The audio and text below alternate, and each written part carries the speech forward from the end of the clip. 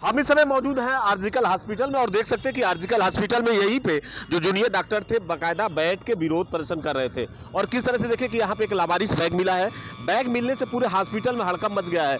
चारों तरफ़ इस जगह को बैरिकेड कर दिया गया है। यहीं पे पुलिस के जो जवान हैं सी आई के जो जवान हैं, सभी जगह को बैरिकेड कर दिए हैं। और आनंद फानंद में देखें कि किस तरह से बम स्पॉट स्पॉट को यहाँ बुलाया गया है। बम जो निरोधक दस्ता जो यहाँ पे पहुँचा है और बाकायदा उस बैग की तलाशी ले रही है। सामने देख सकते हैं कि देखिए वो जो बैग है, उसी में ऐसा लग रहा है कि कोई सामान है या बम विस्फोटक हो सकता है।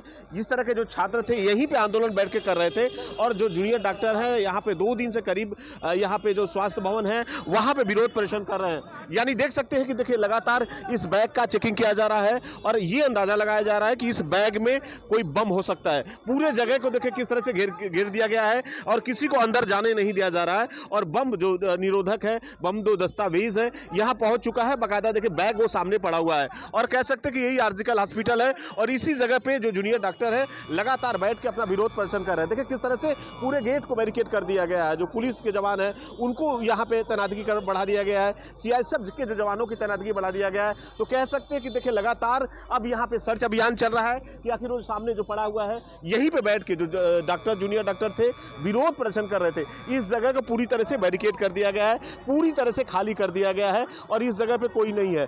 बम निरोधक जो दस्ता है, यहाँ पहुँच चुका है और बाकायदा देखिए कि इसमें क्या है। अभी इस बात का तलाशा लगाया जा रहा है कि क्या बम है।